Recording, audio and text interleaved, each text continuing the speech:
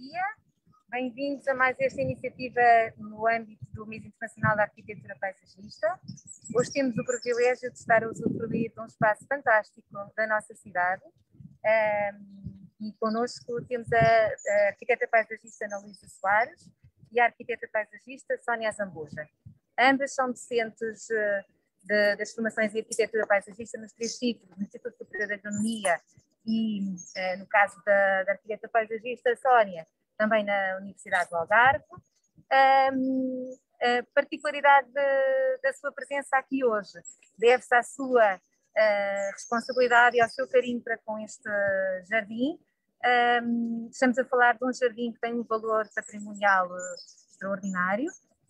Um, é um jardim botânico, portanto, pressupõe uh, a componente da formação, da coleção, do estudar, um, e, portanto, ele foi integrado no Instituto Superior de Agronomia, depois elas irão explicar isto com, outra, uh, com outro pormenor, precisamente uh, para perpetuar essa história de conhecimento pelo valor botânico uh, da vegetação, num determinado contexto em que em Portugal se, em muito se trabalhou o colecionismo e temos alguns exemplos que o atestam.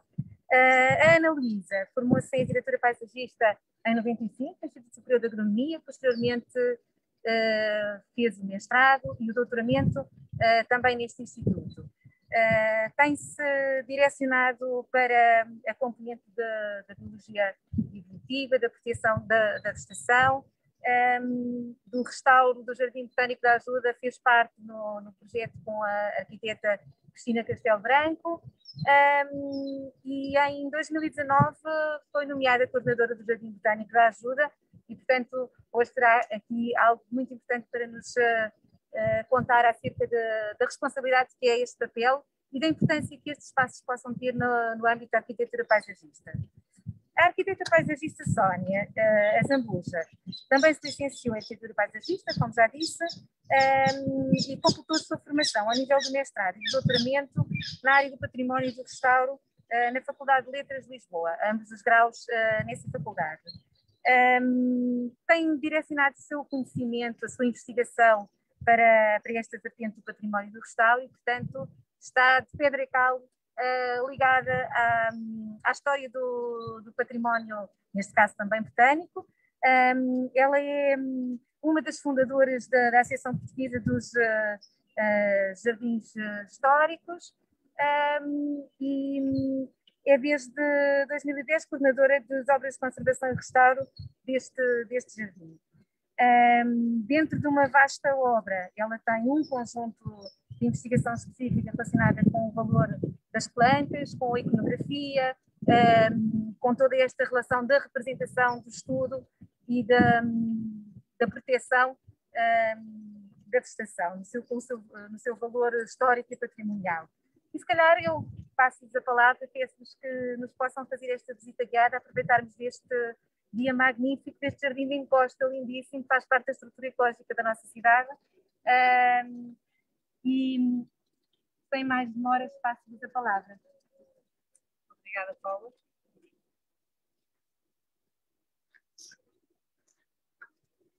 Olá, bom dia a todos. Uh, portanto, como a Paula já pôde, hoje é um dia especial para nós. Estamos aqui no Jardim Botânico à Ajuda, o primeiro jardim botânico português. Este jardim foi criado em 1768, logo após o terremoto de 1755, quando toda a família real se mudou para esta zona da Ajuda. Todas estas quintas já estavam, já pertenciam à Casa Real e foi um local escolhido pelo Marquês de Pombal para construir o primeiro jardim botânico, associado também ao primeiro núcleo museológico de Portugal, que é um, um vê-se ali embaixo, a seguir ao muro, todo aquele telhado, todo aquele casario, era onde tínhamos o, Museu de História Natural, o Laboratório de Química, de Física, a Casa do Risco, onde se treinavam, eh, portanto, toda a parte das ilustrações e o Vandelli eh, preparava os seus discípulos para, mais tarde, irem para as ditas viagens filosóficas que iremos falar também mais, mais tarde. Portanto, estamos no ano 1768, o Bandelli italiano veio, já estava em Portugal, por outras razões também, para, e foi desafiado para criar este jardim botânico à ajuda. tudo leva a crer que terá tido também aqui assim, desde o início, estruturado nestes dois terraços e o, e o Vanelli queria torná-lo o mais rico possível em termos de diversidade botânica. Se calhar pedi à, à Sónia que falasse agora aqui um bocadinho da parte arquitetónica e do estilo de jardim. Olá, e assim vamos fazendo uma conversa mais interativa. Claro. Junto a esta magnífica balaustrada, foi projetada por um arquiteto da Casa Real, Manuel de Souza. Eh, é o último arquiteto barroco da Casa Real, é o autor da primeira fase aqui do Palácio da Ajuda, porque aqui é um processo inverso. Primeiro constrói-se o jardim e o palácio ficou sempre inacabado, só agora é que está a ser completado. Isso tem a ver também com uh, o medo que o rei Dom José teve é? de voltar a estar num palácio de pedra e cal. E por isso mandou construir a real barraca de madeira uh, e o palácio, o jardim foi construído e uh, o palácio muito mais tarde, só na, no final do, do século XVIII, início do XIX, e depois no início do XIX há a fuga da família real para o Brasil, por isso o projeto fica realmente chama a atenção porque uh, é ele que estrutura uh, em, dois, uh, em dois níveis, num modelo que é muito barroco italiano, é? aberto à paisagem, uh, com vista sobre o Tejo e, e tirando partido desta, toda esta cenografia barroca.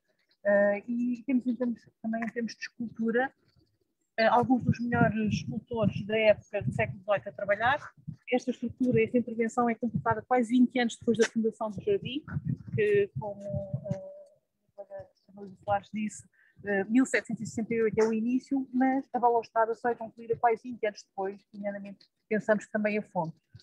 Uh, a fonte, as fontes são, são feitas pela Escola de Escultura de Lisboa, uh, discípulos do Machado Castro, e depois quando descermos no eixo principal do jardim vamos ver um nicho com uma estátua onde está o neto de Dom José, também chamado Dom José. Mas depois, quando se chegarmos lá, Sim, é mais interessante. Esta, a, a morfologia da encosta determinou o traceado desse, dois não é? Um, mas surpreende ao mesmo tempo do sistema de vistas, que era o que estavas a dizer, com uma vista magnífica sobre o, o vale, que é de facto um vale onde corre o Tejo, e a encosta da Margem Sul, que, que confina o nosso horizonte visual. E a, a característica de, destes jardins em costas aqui muito bem. Uma vez foi utilizar essa coisa que eu quero explicar, é que terá sido escolhido também o que é se foi para aqui? Toda esta zona não foi tão afetada na altura pelo terremoto e, portanto, o rei, como uh, quis sair da zona, portanto, marcar aqui toda a, toda a época pombalina, foi vivida aqui neste, nesta zona da ajuda, nesta, tanto também devido aos basaltos, portanto a parte geológica foi uma zona que foi pouco afetada e portanto foi também a razão de serem escolhidas este local. Qual é que é a área do jardim? 3,5 hectares, tem essa 3,8, não tivemos a medir a precisão, mas pronto, cerca de 3 hectares e meio, desde o início, portanto se, mantém com esta área, com esta estrutura em dois terraços. Há registro de que a parte de baixo foi sempre considerada mais uma zona mais de recreio, plantas mais ornamentais, muitas flores de época, principalmente no interior dos cantões de busto. Este desenho de busto foi, foi sendo foi mudando ao longo dos tempos e de acordo com as diversas épocas e esse, este desenho ficou, foi a última intervenção no desenho de já do professor Caldeira Cabral, não foi? Exatamente. Uh, o, calhar a, é, Sónia. É, o primeiro trabalho de fim de curso de arquitetura paisagista, defendido no ISA, em Portugal, foi em 1948, Manuel Azevedo Coutinho, e é sobre a história e o estado do Jardim de Caritas E quem é que era o orientador? O professor Caldeira Cabral, é? o fundador uh, da, do ensino da profissão da arquitetura em Portugal. E por isso o professor Caldeira Cabral coordena aqui, houve um grande uh, uh, furacão em 1941, que afetou o Jardim de Lisboa, houve a queda de muitas árvores e o Jardim de Pensajú também foi afetado. E por isso, até a escolha de. estava a precisar de uma intervenção e de um restauro. É o primeiro restauro que nós temos registro, que é exatamente esse, e tem a ver exatamente com o início da nossa posição. Neste momento estamos a celebrar.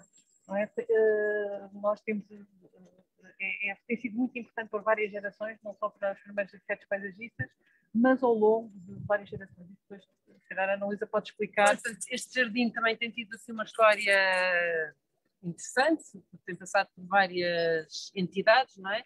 Foi criado em 1768, pertença da Casa Real. Depois quis sempre ser um dos jardins botânicos mais ricos em termos de plantas. A Casa Real chegou mesmo a enviar para, uh, para as colónias, na altura portuguesas, da expansão marítima, uh, vários, que eram chamadas viagens filosóficas para o Brasil, para Angola.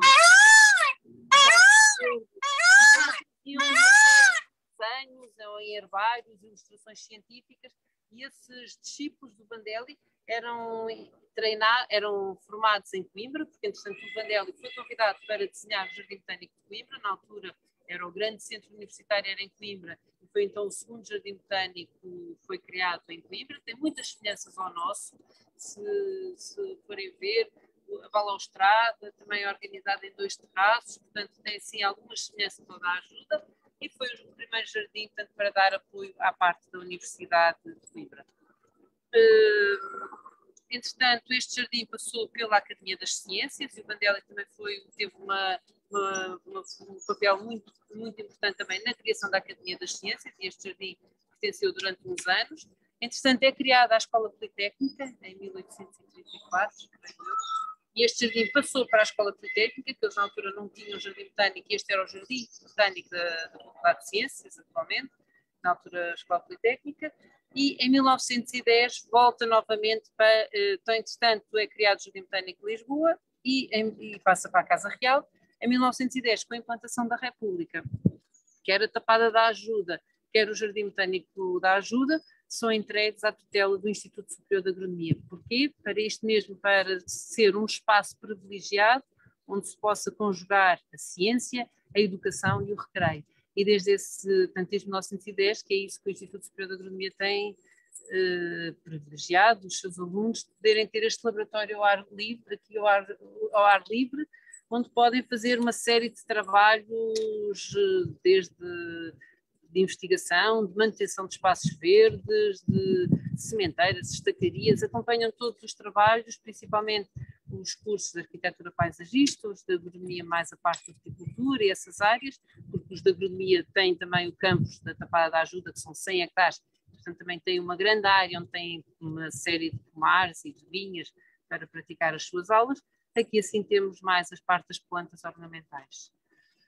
Eh, se calhar importa também referir, a Sónia falou do restauro do primeiro trabalho final da arquitetura paisagista, de facto foi um, um ponto muito importante para a arquitetura paisagista, uma vez estamos a falar este mês da arquitetura paisagista, foi um marco para o trabalho da arquitetura paisagista e posteriormente, em 1993, sob a coordenação da arquiteta paisagista Cristina Castelo Branco, este jardim foi, teve uma intervenção com o apoio de fundos comunitários para se fazer um segundo restauro, um grande restauro aqui do jardim, uma grande intervenção. Nessa altura, o que é que, não, o que, é que foi a grande. Por, por acaso, por sorte ou por privilégio, eu na altura estava a acabar a minha licenciatura e, juntamente com outras colegas, Teresa Chambel, com a Isabel Matos, com a Elsa Silva, com a Silvia Figueira, entre outros colegas, viemos aqui para o jardim uh, e tivemos a oportunidade tanto, de colaborar nesse restauro de, que durou de 93 a 1997. Nesse restauro uh, tivemos todas as fontes num estado, portanto houve uma grande intervenção, quer da parte hidráulica, de drenagem, de sistema de rega, pavimentos, e houve uma forte a, a intervenção, a meu ver, mais importante, que foi aumentar a coleção botânica do Jardim Botânico da Ajuda. Nós tínhamos registros que no tempo de Vandelli o jardim tinha tido cerca de 5 mil espécies diferentes no jardim. Eh, depois, posteriormente, o segundo diretor do Jardim Botânico Félix Aguilar de Botero, um notável botânico, naturalista português, que, que veio de Coimbra para ser diretor do Jardim Botânico da Ajuda, e temos registro de cerca de 1.370 espécies. Quando nós chegámos aqui ao jardim em 1993, foi feito um levantamento pelo professor Franco, pela doutora Maria de Luz Afonso e pela engenheira Teresa Vasconcelos e registámos cerca de 94 espécies diferentes do jardim. Portanto, achámos se o grande objetivo, para além do jardim histórico, nós queríamos ter esta dupla funcionalidade, não é? Valorizá-lo também como jardim botânico, como jardim histórico já tinha, já tinha esse valor, mas queríamos também atribuir, valorizar essa componente botânica e científica. e encontramos uma planta antiga do jardim em que tinha toda esta quadrícula desenhada. Não sabemos ao certo se alguma vez isto terá sido realizado ou não. O que é certo é que quando nós chegámos aqui ao tabuleiro superior estava também com um desenho de bucho, um desenho mais simples que o tabuleiro inferior e com flores de época lá dentro apenas.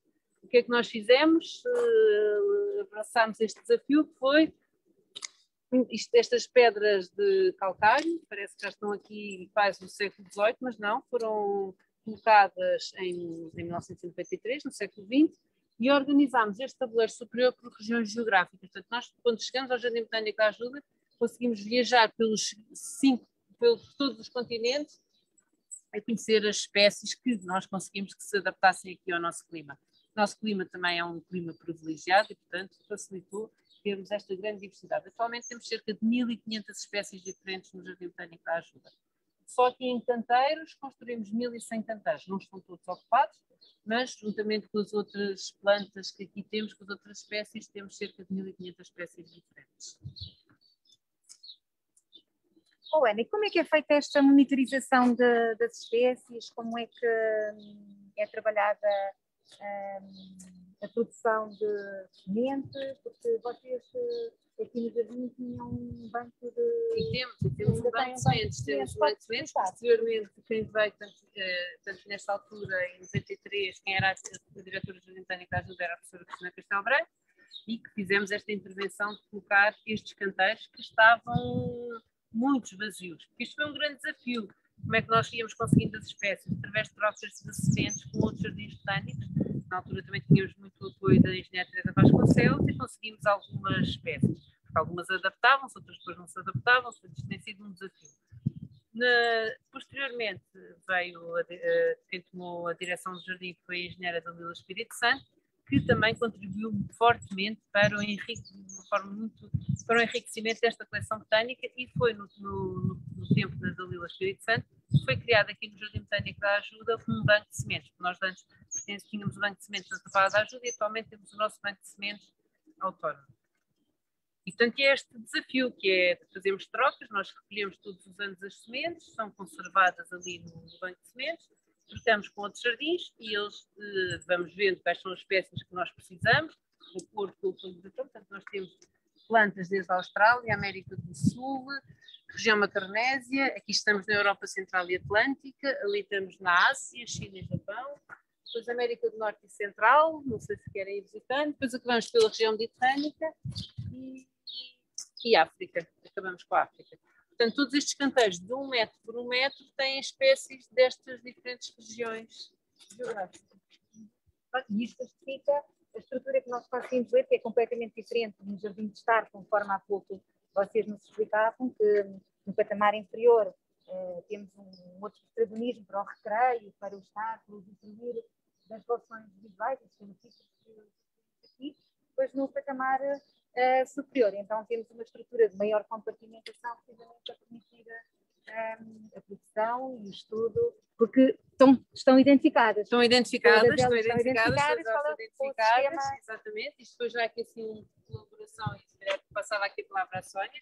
Temos aqui uma, a Associação dos Amigos do Botânico da Ajuda, que caminha lado a lado com a direção e tem sido uma, uma colaboração muito, muito importante para o Jardim Botânico da Ajuda e foi na altura, já não sei, há uns 10 anos, Sim, não sei, 2009. a Associação dos Amigos do Jardim Botânico da Ajuda comprou aqui para o Jardim uma máquina mesmo, portanto somos nós que fazemos estas etiquetas e portanto, que é bom, porque sempre temos espécies novas, é possível uh, fazer logo a etiqueta, de forma a que estejam, tal como um jardim botânico deve estar, com as espécies todas identificadas. Se calhar passava aqui a palavra à Sónia para falar um, bocadinho da Associação dos Amigos, dos amigos do Jardim Botânico da Ajuda. Na sequência do restauro, não é? de 93 a 97, coordenado pela professora Cristina Cristal Branco, houve a ideia em 2000 de criar a Associação dos Amigos do Jardim Botânico da Ajuda, uma associação sem fins lucrativos, para poder continuar a angariar verbas para a conservação uh, e o restauro do jardim e também para a dinamização uh, cultural, trabalhando em conjunto exatamente com as diferentes direções.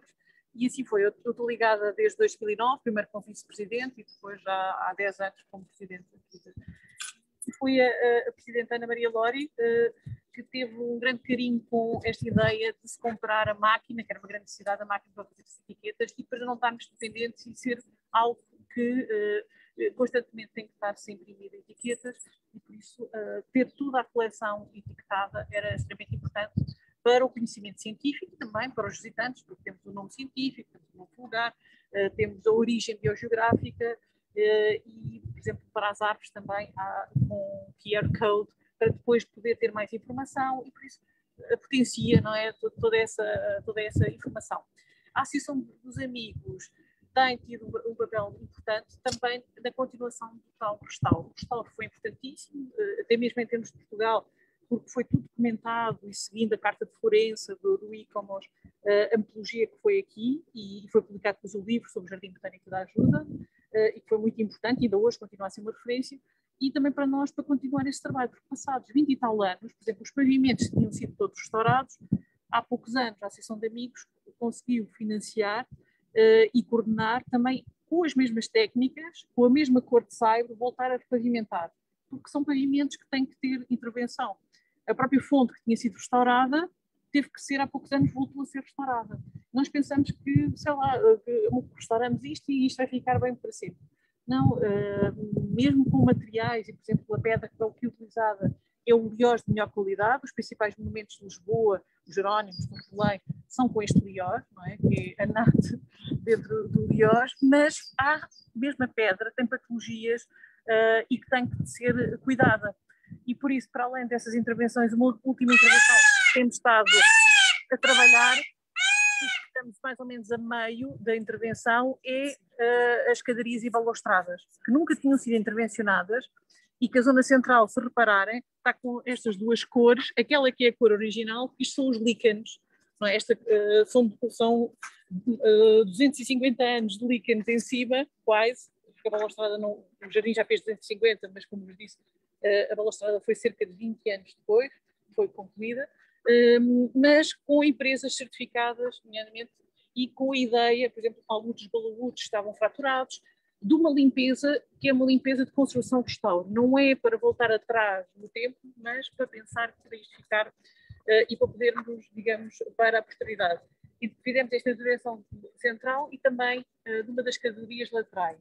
E agora estamos a ver se conseguimos angariar o dinheiro para continuar essa obra. Mas só para vos dar uma ideia, nos últimos 10 anos conseguimos investir em obras de construção restauro aqui no Jardim Botânico da, da Ajuda 220 mil euros, só com a nossa ação. Nós temos, não chegam a 380 associados, não é pelas cotas, e uh, as ações que fazemos, nomeadamente os cursos de jardinagem, uh, as viagens de turismo cultural de jardins históricos e paisagens culturais em Portugal e no estrangeiro, que agora com a pandemia estão suspensas, por isso é que nós, agora neste momento, esta fase, por exemplo, da balaustrada, tivemos que parar, não é? Temos o projeto aprovado na Direção-Geral do Património Cultural, como um imóvel classificado, todos estes projetos, todas estas intervenções tiveram que ter um relatório prévio e uma aprovação para ver que, em termos de metodologia, dos materiais, da própria equipa que nós tínhamos, e somos, e somos essencialmente nós, é? a direção, que tem coordenado isso, porque também temos know-how para isso e por isso não temos estado a pagar, uh, digamos, esses projetos uh, uh, fora, não é? temos feito nós próprios e, e, é também trabalho para o bono que temos, temos feito para, para o próprio jardim. Eu, eu, se calhar agora, um, nós estamos na, no patamar que diz respeito a toda esta parte de, de ensino, da apreciação, do estudo e do conhecimento, como já percebemos, e porque já falámos há pouco que é necessário produzir sementes, recolhê-las, fazer todo esse processo, recebê-las quando elas vêm do exterior, destas interações que possa haver com outros jardins botânicos, avaliá-las, interpretar e perceber um, onde e, e, e podem ser colocadas. Eu, se calhar, convidava-vos a vir conhecer um espaço que é importante em qualquer jardim botânico, que é a estufa, que é precisamente aí que nós conseguimos, de alguma forma, uh, garantir que o cuidado e a adaptação um, primeiros tempos de desenvolvimento conseguem estar sob as condições mais uh, próximas do ideal para que as espécies depois, quando são colocadas nestes talhões, possam uh, vingar. Uh, uma estufa, não é necessário explicar para que uh, nós temos uma estufa importante que neste momento Isto é a biodiversidade. Há uma estufa que foi feita no século XIX, que era a coleção, tinha a coleção de orquídeas do rei Dom Luís. Neste momento não tem essa coleção, é de um projeto que nós temos alistado. É, gostávamos muito de voltar a ter a coleção. Uh, há uns anos chegou, uh, chegámos aqui a ter uh, um, colecionador de, de orquídeas que, que, esteve cá, mas depois que levou a coleção e agora temos que voltar um bocadinho à estaca zero, mas temos todo esse, esse, esse know-how, era muito interessante voltar a ter a coleção original de orquídeas ali na, estufa. Há esse projeto, é, é uma coisa que ainda não está, digamos, implementada, mas há sempre tanto para fazer é? uh, no, no, no, Jardim Botânico. E, e, é uma coleção muito específica, portanto é também é necessário depois uh, um know-how muito específico para, para manter, manter a, a Também não há assim, uma quantidade de recursos, não é? em termos de, de, jardineiros e de, da própria exposição para a própria manutenção. Eu não sei. A Ana Luísa foi, foi já. Relativamente a esta relação com com o público e com uh, visitantes. Uh, como é que se processa uma, uma, visita aqui ao jardim? Como é que. Um... Ehm, há visitas livres, não é? depois há visitas guiadas com diferentes públicos. As temáticas? É temáticas, é também temáticas, desde as crianças mais, mais jovens até uh, aos diferentes níveis de escolaridade e também uh, pessoas que querem, querem saber mais, não é?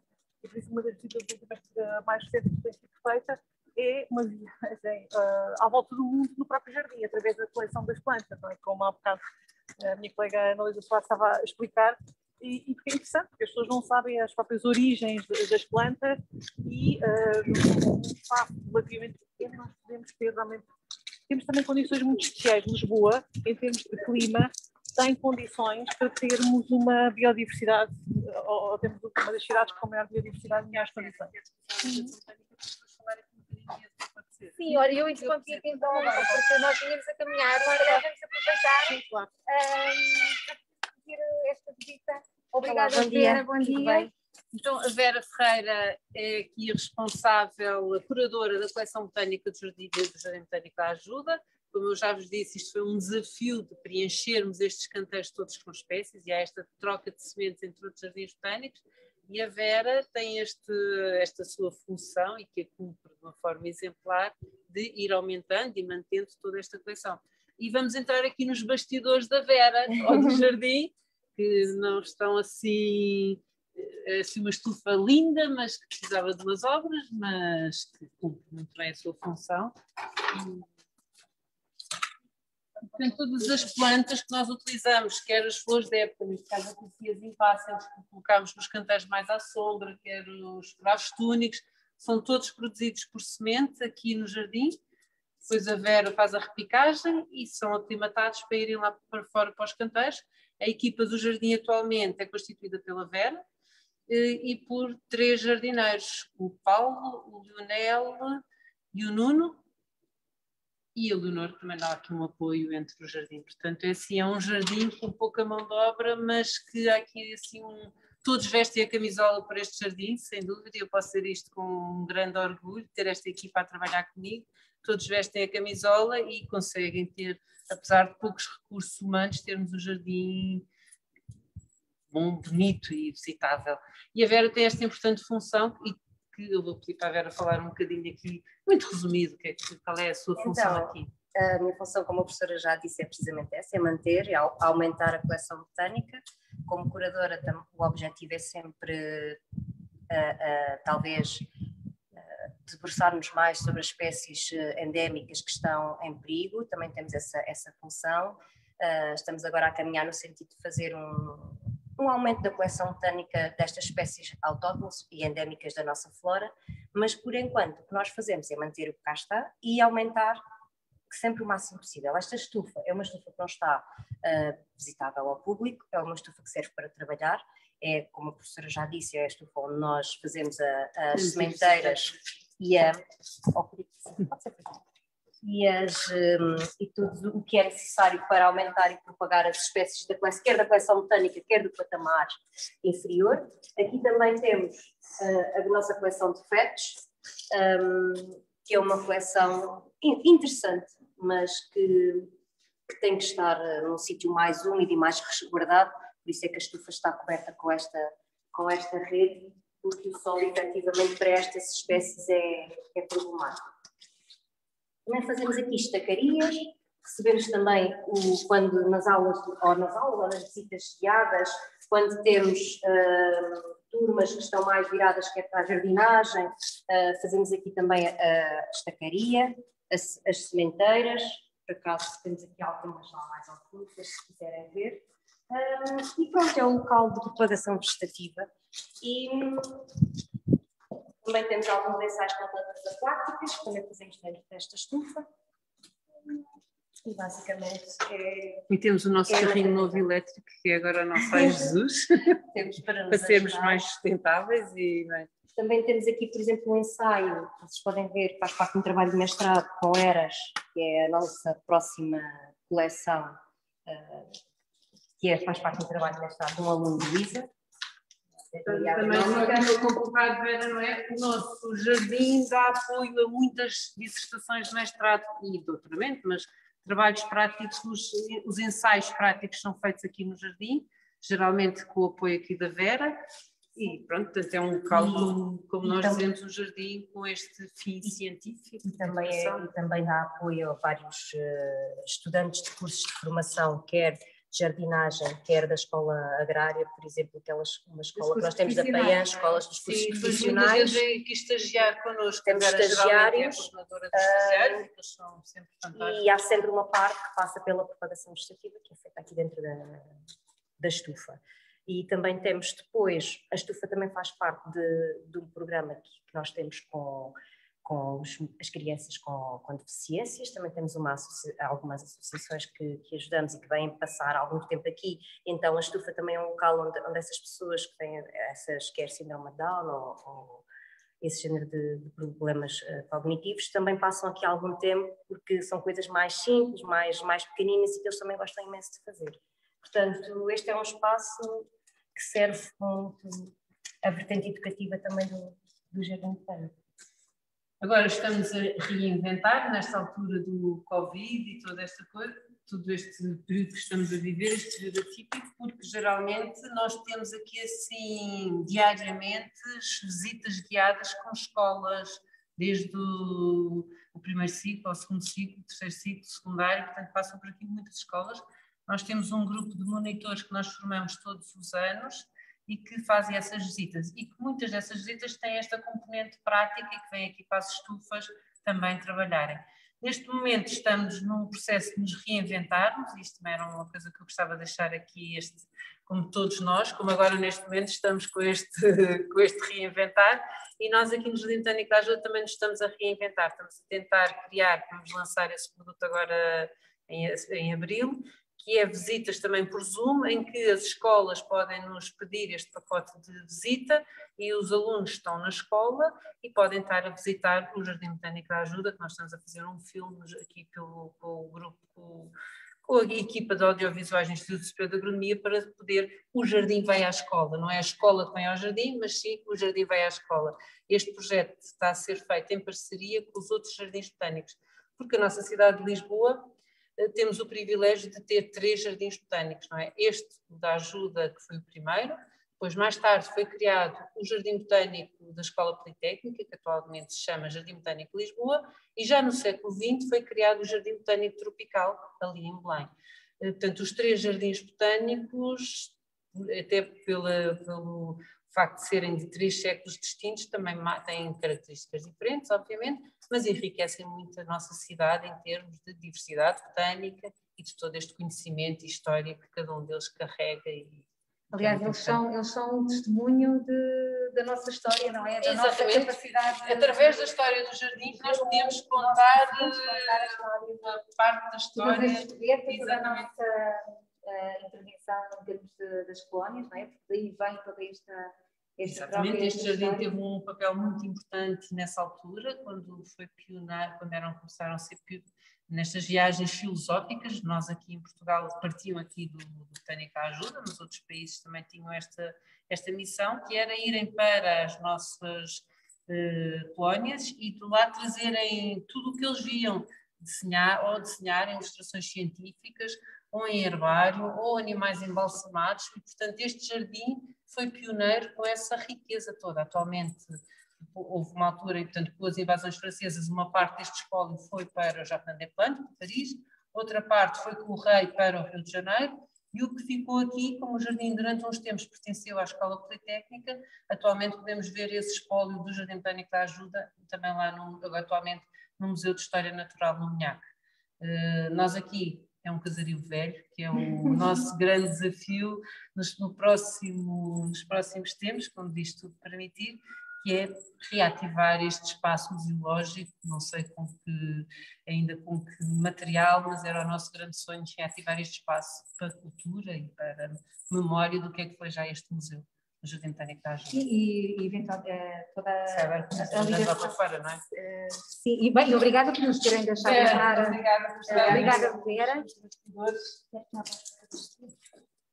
Eu, eu estava a dizer que toda esta este interesse britânico e a nossa ligação um, às descobertas, às colónias, uh, de tal maneira eram importantes e de tal maneira também tivemos sucesso em Lisboa, já falámos qualquer coisa aqui há pouco, os três uh, jardins botânicos atestam de facto isso e decorre não só da nossa capacidade uh, de nos pormos a caminho, de trazermos estas trocas que tinha a ver com a conjuntura uh, da época e de facto oferecer uma planta exótica era qualquer coisa de uh, muito emblemático. Era, era, era, era pelo era, era o, e o, o, trazer qualquer coisa de além mar, que etc. Além disso, nós tínhamos um clima fantástico e portanto tudo para correr bem e para ter sucesso e, portanto, poder ter ainda e eram as novidades, não era só as novidades. Não, e, e, plantas com, com interesses económicos, não é? Porque o científico económico Uh, e, e, também de, de avanços, de plantas especiarias, tudo isso. Aliás, uh, nós temos aqui também claro. uma coleção de aromáticas medicinais, não é? Que ainda não falámos dela. E podemos ir até lá. Na, na, memória, toda essa parte de, das uh, especiarias que tão marcam a nossa gastronomia, Até é? porque os primeiros jardins botânicos surgem em Itália, no século XVI, sempre associados a universidades que tinham de medicina. Porque era importantíssimo para a formação dos estudos médicos terem um horto botânico com as plantas é? para poder ensinar. E por isso também essa relação de Domingos Vandelli, não é? que vem de Pádua, da Universidade, uh, ele, não, ele já cá estava, ele não veio de propósito, ele veio ensinar para o, o Colégio dos Nobres, uh, mas depois vem o, convite do, do próprio uh, Marquês de Pombal para poder dirigir e ser o primeiro diretor. E o segundo diretor uh, vai ser depois no início do século XIX, Félix Velar Buter, que a minha colega a Ana Luísa já, já, já falou, e é ele o autor da primeira flora portuguesa. E temos um dos botânicos mais notáveis. Botânico, mas curiosidade, o Bruter foi, estudou em Mafra, uhum. e depois foi para Paris estudar medicina, estudar medicina, portanto, e lá está, ele especializou-se na parte da botânica, que era o importante para ir buscar a parte dos antigamente, os grandes mas depois ele apaixonou-se pela botânica e creio que nem nunca chegou a exercer a profissão de médico.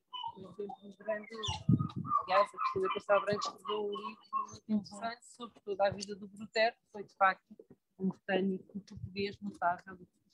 Olha, eu agora podia um, para nós, nós estamos aqui num sítio perfeito para percebermos em termos de, da morfologia, de como é que o jardim se encaixa neste troço da encosta e a nossa relação com, com o tejo, não é? E, e, e, vou fazer aquela pergunta que tem que ser, não é? Estamos a falar de seres vivos, estamos a falar de vegetação que necessita de imensos cuidados de uh, manutenção e de gestão. Precisamos de água. De onde vem a água? como é que é gerida um, como é que é gerido um espaço destes no que diz respeito um, à água, por exemplo? Portanto, nós neste caso aqui no Jardim Botânico da Ajuda somos uns sortudos porque beneficiamos deste legado que os nossos antepassados nos deixaram e temos uma mina de água que traz água da Serra de Monsanto e que praticamente, não é tudo, mas praticamente todo o ano a rega é feita com essa água e a, e a, alimentação dos lagos também, portanto é uma gestão muito, uma utilização muito sustentável da água. Obviamente os lagos também reciclam, bomba, etc. mas portanto a maior parte do ano toda a rega é feita pela mina. Eu até desafiava-vos a ir conhecer a mina, que eu acho que é assim um espaço mágico aqui do jardim. Uhum. Antes disso, desafiava-vos a entrarmos aqui no Jardim dos Aromas. O Jardim dos Aromas foi um outro dos locais que foi.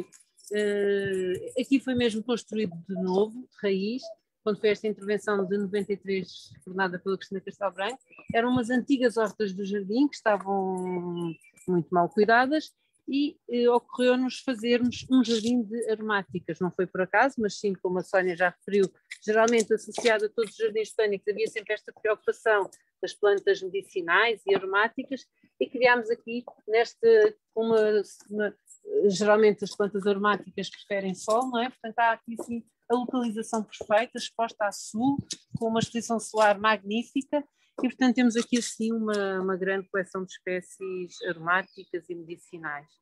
É também de destacar esta curiosidade de serem os alegretes, portanto os canteiros estão elevados, quer para facilitar a manutenção, todos estão com o sistema de rega gota a gota, e para além de facilitar a, man a manutenção, eh, acaba por ser um jardim muito inclusivo, que nós conseguimos percorrer todo este jardim dos aromas, e aliás todo o jardim botânico, através de rampas, e estão com uma altura em que, eh, quer para individuais, quer para pessoas em cadeira de rodas, possam facilmente ter acesso às plantas e cheirá-las e poder eh, visualizar isso ao sentir melhor as plantas.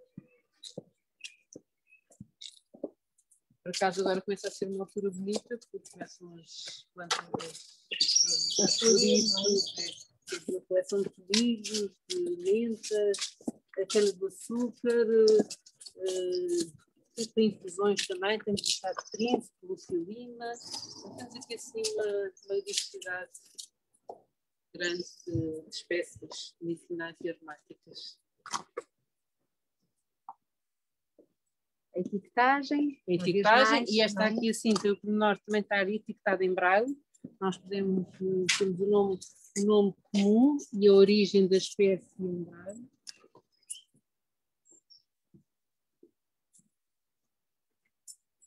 E a constante renovação, não é? Exatamente, experiências, sim, sim, as experiências, pois, esta por isso é que esta, esta iniciativa da Associação dos Amigos foi espetacular no resto da outra coleção, porque nós depois aparecem espécies diferentes e isto, estas etiquetas é uma complicação, temos que mandar fazer não sei onde e tal, depois não dá para é, é um processo, isto é, está sempre em construção. As outras, as outras é? etiquetas são muito mais práticas porque nós próprias somos autónomos e podemos produzir as etiquetas.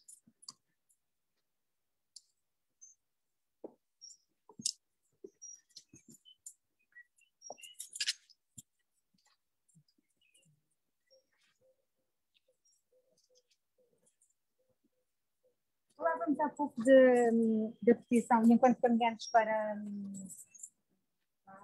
Uh, falávamos há pouco da, questão da, da, tentativa de cuidar de um conjunto de espécies que possam estar em via e com isso enriquecer todo esse património. Uh, esse, esse, trabalho, essa pesquisa, essa procura, o encontrar as sementes ou as secretarias, como, como é que essa gestão é feita para conseguirmos uh, garantir um, ehm, que aquelas espécies que trazemos, não é, para, para passarem a ser representativas e, se possível, poder uh, dinamizar a sua uh, proteção, são ehm, está garantido que são portanto, este desafio, de, portanto, o desafio do Jardim Botânico da Ajuda é termos uma diversidade de espécies, nós temos espécies, como eu já, já referi, de diferentes origens, portanto, porque eram as respeitamos e, e admiramos, e eu pessoalmente adoro, adoro, continuo, o lobo ganvília, o jacarandás, nós temos esta alameda toda do Jardim Botânico da Ajuda com uma alameda de jacarandás, tudo espécies exóticas, e que sem dúvida marcam qualquer claro. jardim, principalmente jardins históricos, era inevitável mesmo as palmeiras. Estamos a Aliás, não era por acaso que havia concursos, não é? Exatamente, e, portanto eram as novidades, eram, no nosso caso do Jardim Botânico da Ajuda, as palmeiras não são assim o cartão de visita, temos aqui assim alguns exemplares, como é o caso deste Fênix canariense, e temos este que infelizmente foi atacado pelos escaravelho, que tem andado a atacar muitas palmeiras, temos as glicínias, portanto temos uma série de espécies exóticas. Obviamente, cada vez mais estamos sensíveis a esta, toda esta questão da conservação das espécies. Pois, aliás, a Vera, Portanto, a Vera, até referiu, a Vera agora até está, exatamente, e a Vera está integrada num grupo, está, portanto, atualmente é mais assim uma parceria um bocadinho informal, mas que se, gostávamos que fosse uma coisa mais, mais regular, que é com o Instituto de Conservação da Natureza e das Florestas, portanto, uh, várias vezes a Vera vai para o campo com os colegas do ICNF e traz espécies que estejam em risco de extinção ou e nós temos aqui essas sementes, temos aqui assim este espólio que vamos guardando. A Vera depois tenta algumas delas semear e, e acrescentar à coleção botânica, outras ficam aqui guardadas para quando é for necessário, para enriquecer a coleção e o banco de sementes. Uhum. Portanto, nós uhum. temos sempre esta preocupação da coleção e do banco de sementes. Obviamente, somos muito rigorosos com o decreto-lei, agora o que saiu agora recentemente, 2019, no que diz respeito às espécies invasoras, e portanto essas não temos aqui no jardim, portanto, tenta, uh, tentamos, quer dizer, à exceção para cá temos aqui as hortênsias que já as tínhamos e também está nesse mas eu não sei se não é só para as ilhas, agora já não me recordo, mas lembro-me. Sim, julgo que é só para a Madeira. Eu acho que é só para, para a Madeira, não é? Acho que sim, acho que é só para as ilhas. Sim, porque com, é, é, é, a importância de, das coleções de plantas exóticas eh, no nosso clima tem que obviamente ser uh, cuidado, como dizia muito bem, com todo o respeito por uh, não deixar introduzir espécies que possam pôr em casa, que estejam mecânicas. já foram introduzidas sem querer, não é? como nós sabemos, o caso das acácias, foram espécies que na altura tinham funções fantásticas, e não que este,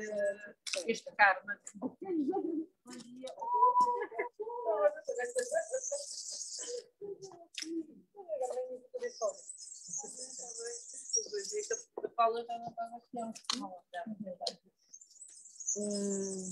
é muito, é muito engraçado, nós estamos aqui na, na entrada e é muito engraçado para nós percebermos a importância destes jardins na história na época em que eles uh, foram construídos. Há pouco falávamos de Balautar, falávamos de estrutura, todas estas taças, tudo isto, toda esta exuberância, toda esta. Tem uma história, se calhar passava a não, não, vieram de outro, de outro jardim, uh, de outros jardins reais ou seja, não foram originalmente. Aliás, aqui, há, temos... há, também algumas, uma pelo menos ou duas, não sei, na tapada ajuda. Exatamente. Destas taças que foram aqui depois acrescentadas depois da, da estrutura. E depois, à hora da saída, este jardim também é mesmo assim, história. Um quarto de hora antes da saída palmas, só assim.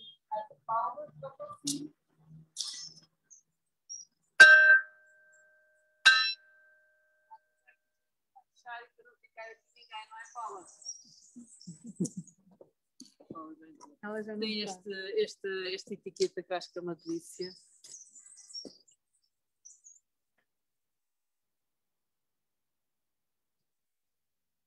Fantástico. E agora eu desafiava-vos a ir até à mina, que acho que é assim um espaço escondido, que se entrar com chave, mas que de facto mostra bem o trabalho e o legado que os nossos antepassados nos deixaram. Eh, não só aqui no Jardim Botânico da Ajuda, como é óbvio, estas minas alimentavam todos estes palácios aqui da zona de Belém, da Ajuda, da Alcântara, da Tapada, da Ajuda, temos cinco unidades também,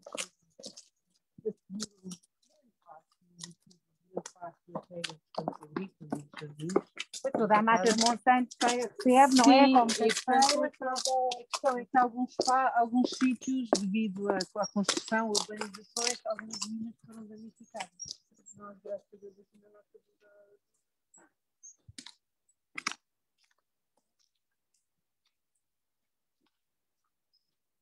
Aqui assim nestes canteiros, assim, portanto, a parte de cima é mais a coleção botânica, mais científica, em que respeitamos todas as origens geográficas.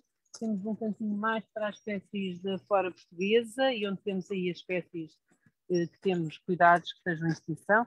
Aqui assim, há mais um jardim de recreio onde temos este roseiral, que foi plantado, tem vindo a ser plantado aos poucos, ano a ano vamos acrescentando um talhão de rosas, com todas com floração diferente. Estão agora a começar a fermentar as suas, a abrir as suas flores. Temos esta parede espetacular de benvilha, que é um. Então, como já está andado com um tablete superior, estão todos a fazer o seu túnel lilás, com esta parede de benvilha fica assim um cenário espetacular. E como eu às vezes pergunto, mas qual é a época do ano que gostas mais do jardim? Eu gosto de todas as épocas, porque o jardim tem esse privilégio, não é? Podemos sentir as quatro estações do ano. E este gravaz, se não forem os primeiros, deverão ser os primeiros em Portugal, porque pensa-se que é numa das viagens filosóficas que é feita ao Brasil, uma que durou mais tempo, por oito anos, por Alexandre Henrique Ferreira, que é desenhado, são, são colhidos sementes e no início do século XIX, já com o Brutero, há descrições que já estavam plantados nos jacarandás, foi o segundo diretor. e a partir daqui, ou seja, difundiram-se não só para Lisboa, não é? tornando-se uma das árvores mais emblemáticas, e é uma árvore que é uh, do sul do Brasil e também da, da, da Bolívia e da Argentina. Um, eu já vi em floração, por exemplo, na Argentina, o jacarandá, e eu acho que é onde ele é nativo, e em Lisboa parece que ele ainda tem uma, uma floração mais espetacular. Não sei, é, adaptou-se tão bem o que é realmente um caso. Nós, este ano, aqui de Jardim, estes últimos anos, não tem estado com uma floração tão exuberante. Lá está a manutenção. Eu acho que temos que fazer aqui uma poda cirúrgica. Uhum. Ainda não arriscámos, mas temos que ver se para o próximo ano. Era para ser este ano, mas com estas confusões todas que estamos a viver, não foi possível. Não sei se eu preciso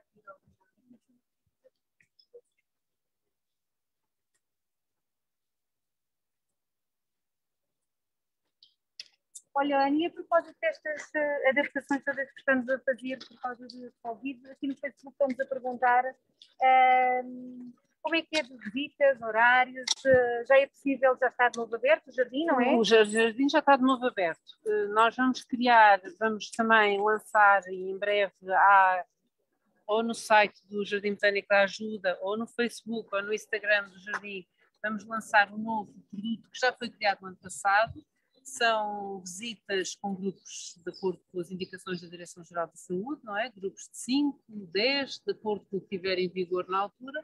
Eh, as pessoas precisam estar todas de máscara e temos os nossos guias para fazer. No ano passado lançámos estas visitas que correu muito bem, este ano ainda não lançámos, sairá para a semana, mas será, a quarta, no ano passado era à quarta-feira ao fim do, às seis da tarde, e ao sábado também às seis da tarde, para permitir ver aqui o final do dia do jardim, que é uma coisa espetacular mesmo. E, e pronto, houve assim, não houve enchentes de pessoas, mas houve uh, alguma adesão e é, é, um espaço muito seguro para se visitar agora neste período, irmos passear para o Jardim Botânico da Tem que ser com marcação prévia? É, tem que ser com marcação. É, se forem guiadas, visitas guiadas, tem que ser com marcação prévia. Nós no site temos lá essas indicações todas, é uh, inscreve-se diretamente no Google, aqueles questionários online, ou então tem o um número, liga-se para o jardim e marca-se sim. Mas basta na véspera, basta na véspera. Uhum. Com atenção, cá pouco ah. estávamos a falar, estamos aqui num dos eixos principais do jardim, como é um jardim de características barrocas, o eixo principal é muito importante e geralmente em termos de estatuária, de iconografia, está a tal estátua do neto do Dom José, que tanto, uh, uh, uh, tanto o Rei Dom José como o Marquês Pombal não quiseram ou não queriam, estavam a ver se passava diretamente, não para a filha, para a rainha Dona Maria I, que foi a nossa primeira rainha, mas para o neto. mas isso não aconteceu.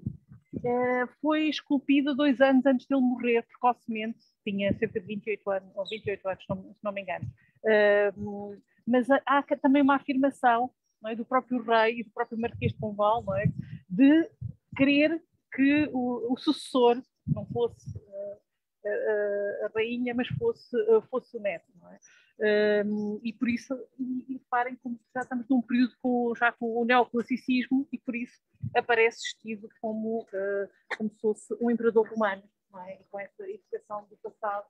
E estamos num período do final do barroco, já com o neoclassicismo.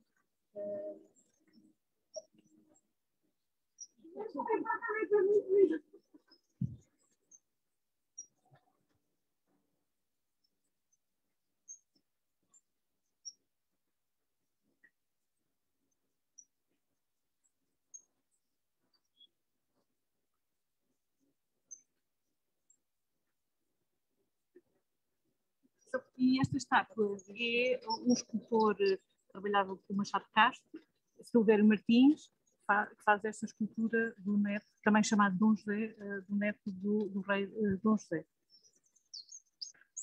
Bem, entretanto, vamos até à, vamos até à, mina. à nossa mina.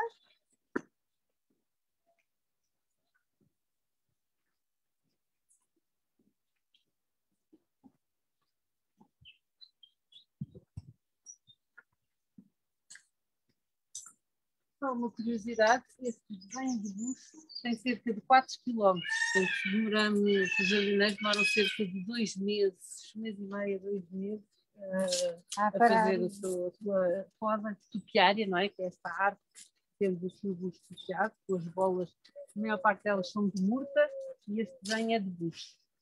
Uh, temos tido também algumas desavenças com o bucho, como em todo o país. Um fungo tem atacado o bucho, regularmente temos que fazer alguns tratamentos. Graças a Deus, neste momento está num período estável. Ah, e temos sempre, já agora gostava de deixar aqui um agradecimento público, sempre o acompanhamento e o aconselhamento da parte de todos os tratamentos fitossanitários do jardim, do Laboratório Veríssimo de Almeida, do Instituto Superior de Agronomia, da nossa colega Paula Ramos. E a engenheira Filomena Caetano também. E também quem quiser saber mais, há cursos de jardinagem que a Associação dos Amigos organiza cá, é? de vários temas, tanto de um nível mais iniciado como um nível mais. Maria, queres entrar aqui na. Portanto, atenção que ali há um degrau, depois daquele degrau já não se pode descer, porque senão, quer dizer, depois não acontece nada, mas ficas com os pés entrados. Tem uma boia laranja que é para marcar o nível da água. Portanto, tudo isto, todos estes, estes túneis, não é? Construídos pelo homem, assim de uma beleza espetacular. Estamos cheios de água este ano, mas foi bem.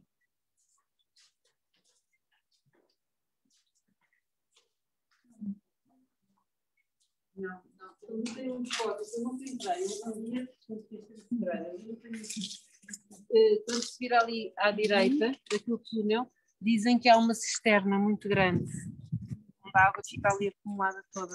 Portanto, vem da serra, tem, da Serra de Monsanto, tem ali assim uma zona circular grande, daquele túnel, e depois entra por aqui e chegamos até aqui. Nós aqui não temos montanha. Nós tiramos diretamente, estão a ver as É bombada todas, diretamente, é bombada diretamente para o sistema. Na tapada da ajuda temos um tanque. E depois por gravidade, não é? Antes, Antes do terá sido, é que provavelmente, não funcionava? achas, Sónia?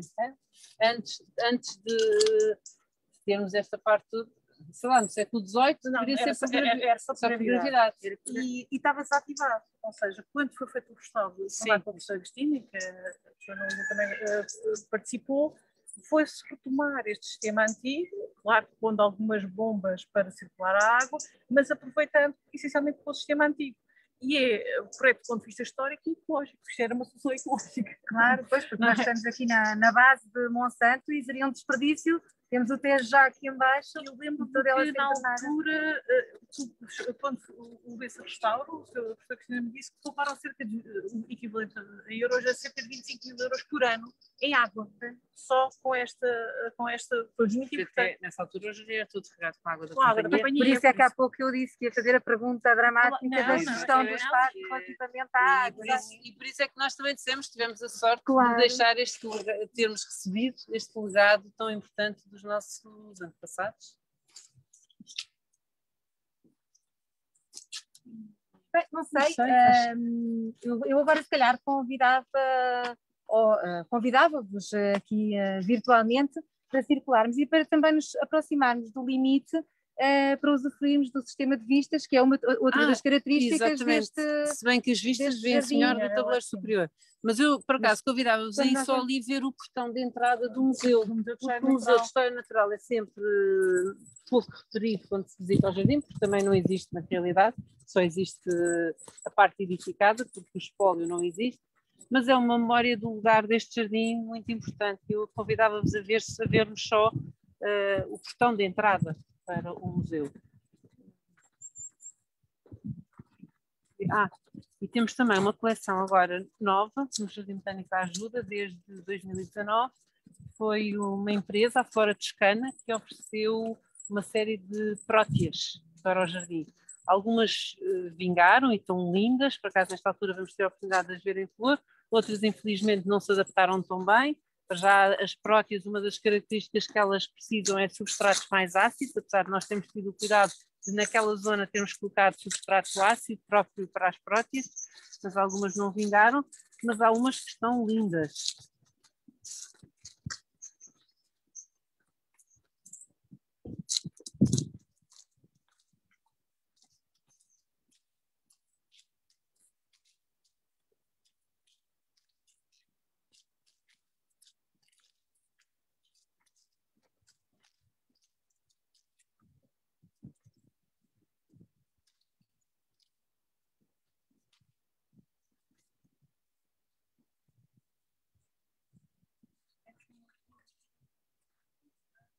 Vamos até ali, Maria, ver que, é, que ela é mais bonita para mim.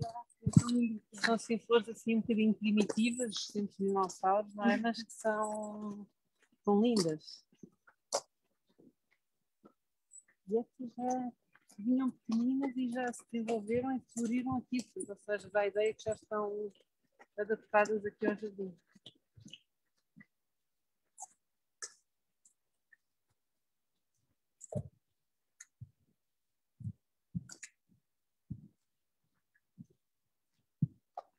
Para mim é mais bonita. São diferentes, são flores diferentes.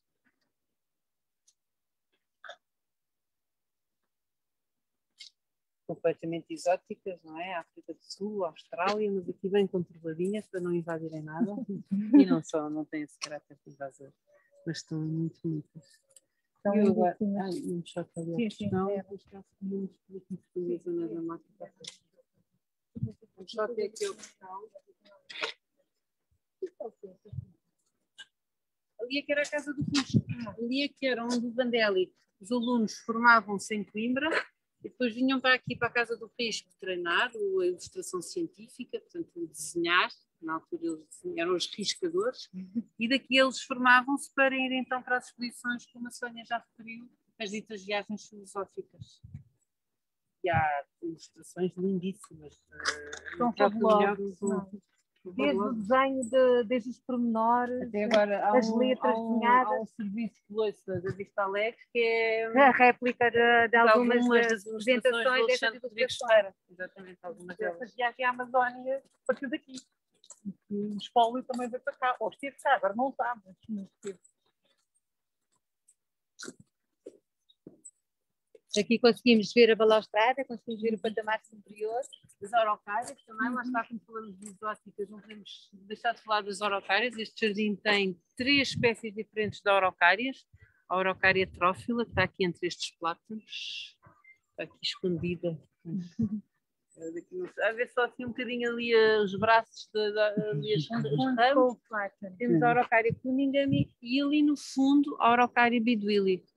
Portanto, lá está as novidades vindas da Austrália eh, que, que eram tão apreciadas no século XIX, não é? Sónia, até temos o registro da primeira araucária em Portugal a ser plantada no Parque Monteiro Mor. Uh, sim, vieram, uh, 1843, vieram é, Parque Monteiro Mor, para tapar as necessidades, para Coimbra, é essa descrição exatamente. Aliás, é, era tão importante que na altura nós tínhamos o Jornal de Horticultura Prática que tem uh, registros fabulosos de um pormenor extraordinário, um, referencia de onde vem a espécie, quem é que a trouxe, como é que ela foi colocada, toda a festividade que em torno dela sim, sim. ocorreu. E é muito, muito, muito em termos de valor histórico este, este O editor, era uma autora, ele gostava tudo. Havia artigos científicos, nova agricultura prática, e também registros. Imagina se, se no, o Dom Fernando visitava o estabelecimento hortícola do Porto, o Hortagisur, dizia o rei veio cá, comprou este, esta esta espécie para levar, por exemplo, para as cidades, o outro para levar para a pena, e ficava o registro. E Exato, ainda podemos ter o rastro dessa, é. como é que as espécies foram circulando e quando é que foram Exatamente. plantadas. Exatamente. Aqui é a entrada do museu, está assim à espera de uma intervenção É tipo. Agora ouvir isto online vai-nos contar. É tipo jardim, jardim da Bela Adormecida lá dentro. Ou neste caso, continuamos aqui com o questão. Se calhar passeávamos para a passámos pelo dragueiro. Este dragueiro já é um filho do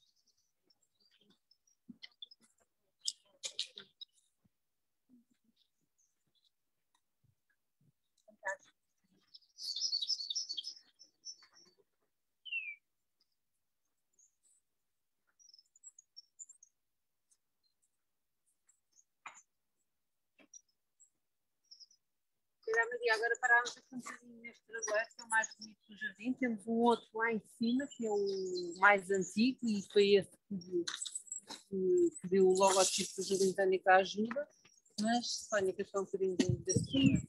Uh, o dragoeiro, para quem não é originário da região biogeográfica da Petronésia, uh, Madeira, Açores, Cabo Verde e também uh, pelas outras ilhas. Canárias. Canárias, era desculpa, Canárias. Uh, nós sabemos que desde o século, uh, final do século XV, uh, que em Portugal há registros de termos de introdução do, do dragoeiro. No século XVI há um, um famoso botânico que veio de Leiden, o, o Clusius, e quando visitou Lisboa, não aqui, porque ainda não existia, mas visitou um convento na Zona da Graça, onde escreve e desenha a primeira vez uma ilustração científica de, e volta para Leiden e faz uma ilustração científica que ainda hoje existe e que serviu depois de base para fazer o logotipo, quando a professora Cristina desenhou o logotipo. E é um desenho que é uh, de ilustração científica e, e mostra exatamente essa, este, esta arte, que é uma planta tintureira, também medicinal, uh, a sua seiva em contacto com o ar oxida e parece sangue, e era utilizado, por exemplo, pelos pintores uh, do final do século XV e início do século XVI, exatamente para fazer a cor do sangue uh, na pintura e tinha também propriedades uh, medicinais, além de ser uma árvore ornamental lindíssima, não é? que está aqui com um porte extraordinário. Por exemplo, depois mais tarde, em jardins depois já públicos, o Jardim da Estrela, temos a utilização de, que foram plantados a meio do século XIX pelo jardineiro paisagista Bonar, que trabalhava com o Rei Dom Fernando, vai exatamente, se calhar são filhos destes, não sabemos, não é? Só analisando, uh, mas tem um porte muito semelhante, porque depois há várias variedades. Este, os botânicos, os nossos colegas, acham que é uma variedade de Cabo Verde, porque depois conseguem, é, em termos porque também genéticos. planifica mais na base, uh, há outros têm. Exatamente, um... é, tem características. Pronto, são algumas pequenas características. E, por exemplo, o da Estrela é muito parecido com este. Portanto, por isso, aliás, temos ali é muitos, muitos filhotes do, dos dragoeiros, estamos pondo ali. é muito fácil por estaca pegar. Temos aqui uma curiosidade também muito vida no jardim, que é a Rosa Bela Portuguesa colocada aqui já em 2019, portanto não é uma planta nada histórica, mas traz uma história. Traz uma história que no século XIX havia um jardineiro, diretor do Jardim Botânico da Politécnica, o Henri Dayax, que era um apaixonado, portanto todos estes botânicos eram horticultores, eh, apaixonados pelas plantas, e ele criou esta rosa. Como nós sabemos, as rosas há milhares de cultivares de rosas, não é? Ele viu esta cultivar, é uma rosa trepadora, trepadeira, e a rosa bela portuguesa que lhe deu o nome, e começou agora a abrir, a florir, por isso é que eu trazia aqui esta, esta novidade, é linda, tem assim um aroma muito suave, um, uma fragrância muito suave, mas é muito bonita. Ele deu-lhe bela portuguesa porque dizia que Lisboa tinha um clima fantástico para todas as espécies. Ele, além disso, criou também, foi o, quem fez aquela Dombeia Caiuex, aquele híbrido da Dombeia, uma série de outros. Portanto, porque estes botânicos eram todos uns apaixonados pela jardinagem, porque era aqui nisto, é, até de jardineiros paisagistas, que eles próprios também desenhavam os jardins. E, portanto, este é um exemplo muito bonito que eu gostava de são os antepassados arquitetos paisagistas, não é? Ainda quando os jardineiros paisagistas. Estamos pelo corredor ali das, dos e, e se calhar aproveitava para já falámos de alguns aspectos uh, ao longo da nossa conversa, mas um pouco para sensibilizar uh, quem nos está a ouvir para as questões da gestão, da conservação, da manutenção, as dificuldades que estão por detrás de um, garantir toda esta diversidade e os cuidados diários um, que, que, são implícitos a, a ter um espaço destes como Aqui sim, neste, neste jardim botânico em concreto, há duas grandes tarefas cruciais deste jardim, prim, uh, em iguais patamares. É a manutenção deste busto, de facto, o jardim é o cartão de visita do Jardim Botânico da Ajuda, como eu costumo dizer, são 4 km, como eu referi, só, só fazemos o corte uma vez por ano, que é impossível, temos só três jardineiros, uh, portanto é impossível fazermos mais, e está tá muito bonito. Depois há o trabalho da Monda, que é um trabalho inglório, porque nós aqui assim evitamos ao máximo utilizar herbicidas, o que é que seja, portanto é um jardim muito sustentável, estamos a tentar cada vez que seja mais sustentável, portanto isto tem que ser tudo feito a monda manual, como vocês veem aqui por acaso aqui, os jardineiros já apanham este monte. Mas há aí montinhos de, de ervas daninhas que temos estado regularmente a fazer estas mondas. Depois a outra grande tarefa importantíssima, e é isso também que dá o nome de Jardim Botânico, é a coleção botânica, que a Vera tem ali aquele trabalho crucial e, e que geralmente quando vêm estagiários, muitos deles vão dar apoio à Vera, também nas mondas, nos canteiros, na, na sementeira, nas estacarias, na aclimatação das espécies, antes de integrar, integrarem nos canteiros. Depois aqui embaixo também temos este desafio. Todos os anos pensamos em espécies diferentes para ornamentar os canteiros, não é? Isto aqui é mais uma função ornamental. Este ano decidimos que iríamos pôr cravos túnicos, eh, organizados por cores, aqui o laranja ou amarelo. Há outros anos em que nos lembramos, já pusemos aqui dálias, zinhas, uh, no ano passado fizemos também cosmos, ficou, ficou lindo. Estamos assim reinventando, variando, que é para também encontrarmos agora para o espírito, para o espírito da, novidade, exatamente, para divulgar. Também temos o tirocínio do professor Francisco Caldeira Cabral, que foi feito aqui no Jardim Botânico da Ajuda. O que, é que era o tirocínio? Era uma espécie de trabalho final, porque o professor eh, primeiro licenciou-se em Engenharia Agronómica, como sabemos, não é? depois é que foi para Berlim formar-se em Arquitetura Paisagista, e o seu trabalho, o seu tirocínio, foi um tempo em que, creio que o André Navarro não estava disponível ele teve a substituí-lo substituí durante uns meses e deixou isso registado. E é isso que nós agora também aqui assim em conjunto com a Sónia estamos a orientar uma aluna de mestrado para ver se provavelmente espero que para o próximo ano sejam esses os planos de plantação aqui no tabuleiro inferior que eram as espécies que o professor Caldeira Cabral sugeria para se pôr aqui. No... Documentado com os, os esquemas de cor, com as espécies, e por isso é interessante reinterpretar isto. E, portanto, também este papel tão importante para o ensino e para a arquitetura paisagista, uma vez que estamos no mês da arquitetura paisagista, este jardim, para além de ter sido o primeiro jardim botânico português, eu creio que também desenvolveu um papel muito relevante neste primeiro arranque do ensino da arquitetura paisagista em Portugal. Como o laboratório que há pouco falavas. É, o laboratório, é? exatamente. Uh, laboratório só uma pergunta, para além de, de, obviamente, da relação direta de alunos que estejam envolvidos em trabalhos, de, sejam eles de que nível de, de ensino, Uh, com, esta, com o jardim. Vocês aceitam voluntários? Olha, depois desta. é uma boa pergunta, Paula. Depois desta pandemia, eu, nós entramos aqui no jardim e o jardim estava caótico. E isto foi assim um bocadinho, foi assim uma, caótico cheio de ervas, porque assim os jardineiros não puderam fazer teletrabalho, como é, como é claro. era impossível, portanto eles continuaram a vir uh, presencial, mas tentámos, por causa de questões de uh, desfasar os horários, tínhamos, temos aqui assim assiduamente, sempre, sempre, sempre, sempre, uh, pessoas da Santa Casa da Misericórdia a darem-nos apoio, que são uma ajuda fundamental, principalmente na manutenção do busto, nas mondas, etc que em tempo de pandemia não foi possível, não podiam vir, e portanto isto quando nós entramos no ano passado, em maio, foi o Ai Jesus que eu disse à Sónia que horror, como é que vamos abrir o jardim ao público, isto, este ano por acaso infelizmente a experiência manda-nos, e portanto eu andava sempre atrás e, o jardim abriu e acho que não está assim muito mal, não está tão mal como no ano passado, um, mas na altura, no ano passado, disse à Sónia que horror, o que é que vamos fazer? E a Associação dos Amigos, agora uh, lança-te este desafio. Exatamente, uh, pagou um, um, trabalho técnico, é de vir uma empresa de jardinagem para se poder abrir o jardim e estar com dignidade.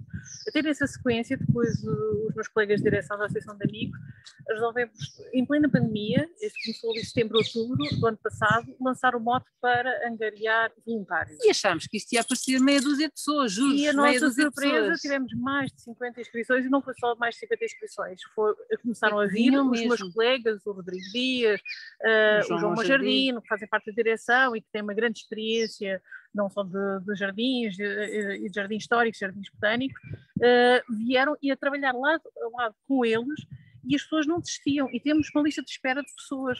E por isso isto é um potencial e nós, a experiência que tínhamos há uns anos, quando chamávamos voluntários apareciam pouquíssimos.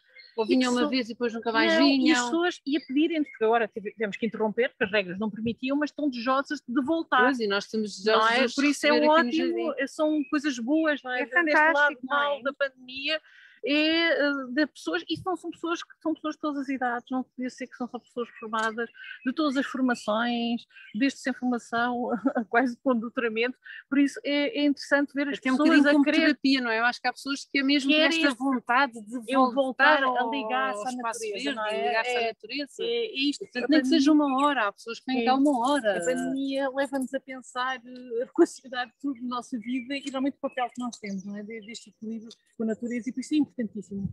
Estamos a contribuir eh, para, eh, para o jardim, mas também nos faz bem a nós próprios, o próprio ato de jardinar e por isso é, é- tem sido uma experiência muito interessante. no outro confinamento, neste também, mas no outro então, não sei porque, parece que foi muito mais. Os dois foram.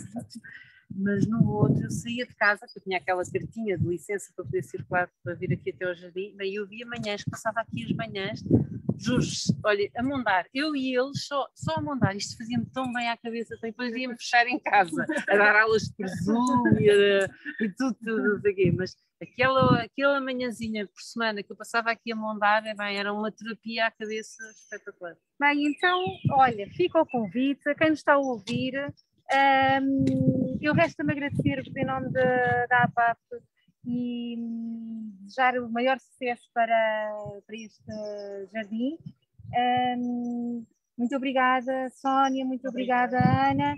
Ah, venham até cá, não só visitar, mas participar ah, nestes trabalhos de manutenção, interagir com, ah, com todas estas tarefas.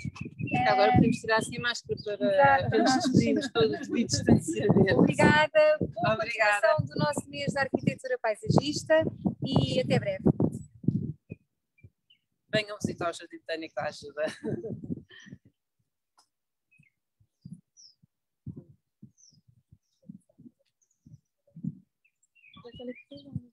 Obrigada, Paulo.